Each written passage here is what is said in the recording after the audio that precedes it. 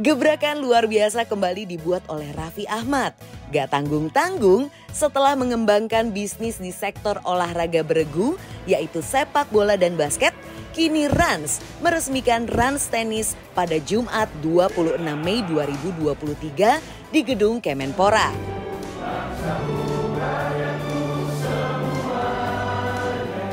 Rans Tennis akan full mensupport atlet peraih medali emas di SEA Games Kamboja, yaitu Muhammad Rifki Fitriadi.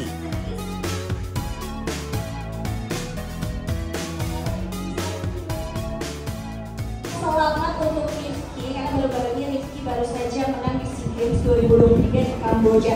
Boleh berikan tepuk tangan yang meriah untuk juara.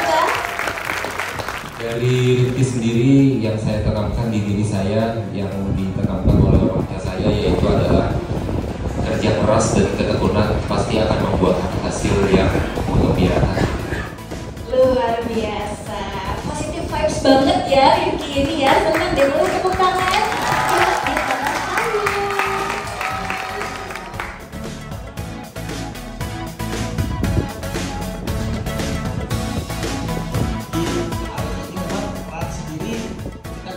Pada konferensi pers di Ultimate Tennis Champion, Raffi Ahmad mengungkapkan dalam tiga tahun ke depan, Rifki bisa masuk ranking 100 besar dan bisa berkompetisi di salah satu kompetisi tenis ternama di dunia seperti ATP Tour 100. tenis jarang ada yang saya tiba-tiba penuh semuanya lapangan tenis.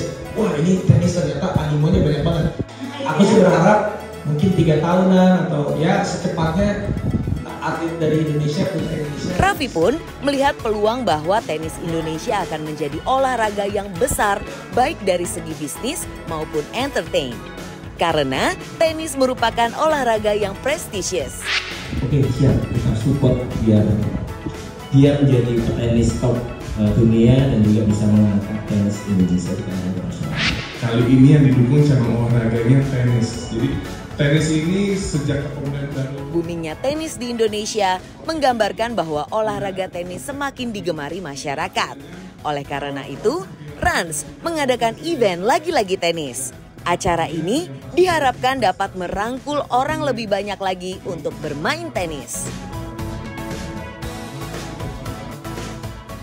Sebagai tanda simbolik kerjasama dan juga penyemangat untuk